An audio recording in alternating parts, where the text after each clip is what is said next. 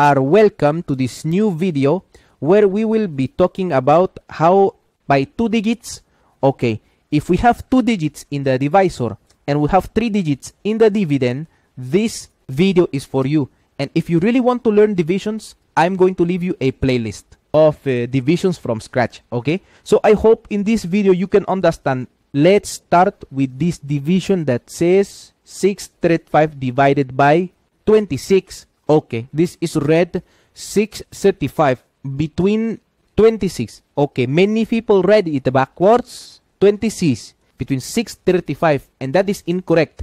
If you put that in the calculator, you get it wrong.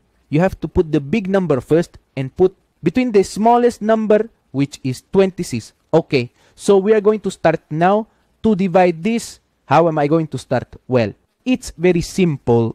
If I have two digits here in the divisor, uh, I'm going to take two figures also in the the dividend, okay? That would cause my answer to start being placed here. If here is where the answers go, here are the numbers that are going to be the answers. Here, here in this space, I'm going to, to start placing my result that they don't forget. And well, to start, we have to ask ourselves the following. We say, how many times does 26 fit into 63? I repeat, how many times does 26 fit into 63? 12 equities, equidente, eh, that's very easy to find. To know how many times a number fits into another number, we will have to search from the 26 table. What is the result that is closest to 63? Yes, but since I don't want to do the complete table, it's a lot of work to do the complete table, I can do it by trial and error. That is that is to say, imagine that I have 26 by a, eh, I don't know, 3 and 26 by 2, let's say. We're going to find these multiplications. We say 3 times 6 or 6 times 3 is 17. And I have a 3 for 2 is 6 plus 1 is 7. We have 78 here. And now in 26 for 2, 2 for 6. Dos pulpo, right? I take 1, 2 by 2 is 4 plus 1 is 6. So, between these two, we're going to have to find out which one is the closest, which of these two multiplications of results, which of these two results is closer to 63.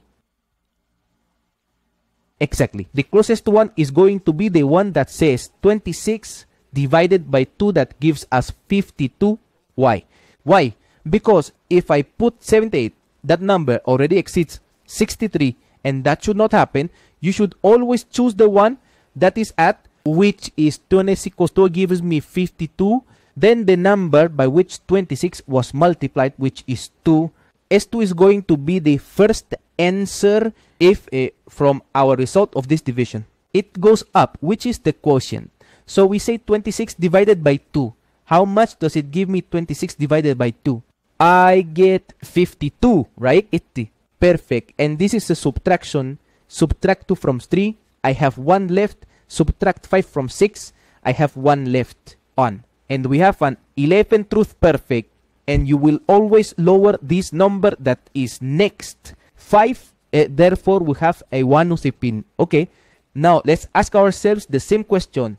Always how many times does 26 fit into 115 if that is the question we will always ask ourselves. Then we put 20 here why number occurs to them 4 say 4x6 or 6x4 24 right in. Here I carry 2 4 times 2 is 8 plus 2 is 10 there are 104 and uh, uh, well let's imagine a 26 times 5 5 times 6 is 30 I carry 3 by 210 plus 3 is 13 right? 130 remains of these two results of 104 and 130 30 which is the closest to 115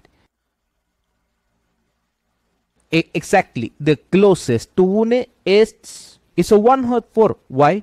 Because 130 already exceeds 115 right?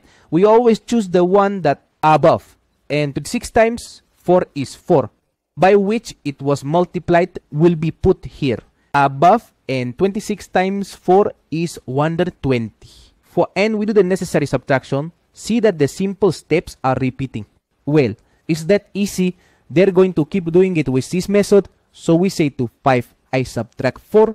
Well, I have 1. I take away 0. Well, you can't take away anything from 1. It stays as 1.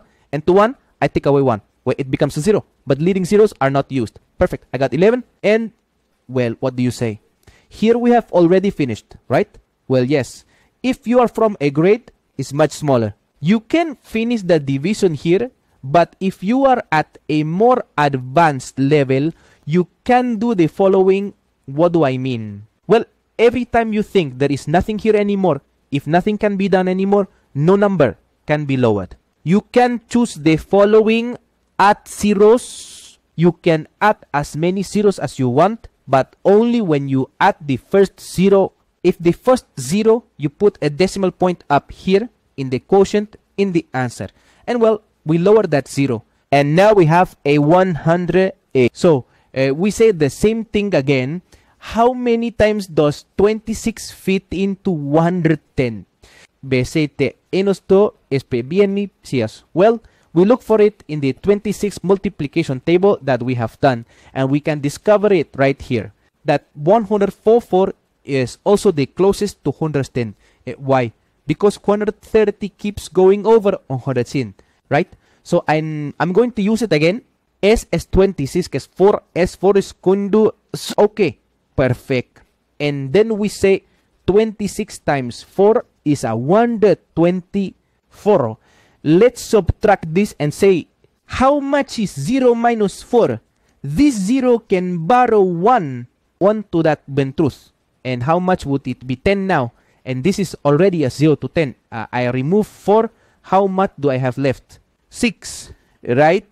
And it, it's 0 minus 0. So it's 0 and 1 minus 1. So it's 0. And, well, we have finished with the division. I can keep adding zeros and keep them down. But it doesn't make sense because your notebook will not fit anymore. It will not give you much space anymore. This is already simply for higher grades, as I told you. And let's see in the calculator to see if that is the result. We have here, we put 635 between 26 and how much does this give me? Look at this. A dead Sisyphorus the 4. And as we I said we can keep doing the division and it will give us all these points, all these extra decimals, but it's no longer worth doing it because we will never finish it. That is to say, we will be adding zeros and well, we will never finish and our notebook will run out. So you can choose to leave them unfinished, but the result is very accurate. Look, foro, no, Aindioko is in I hope sis, this video has helped you and that you have really learned how to divide by two digits in the divisor and three digits in the dividend. I sindo if you like this video and it's helped you and see you in the next one.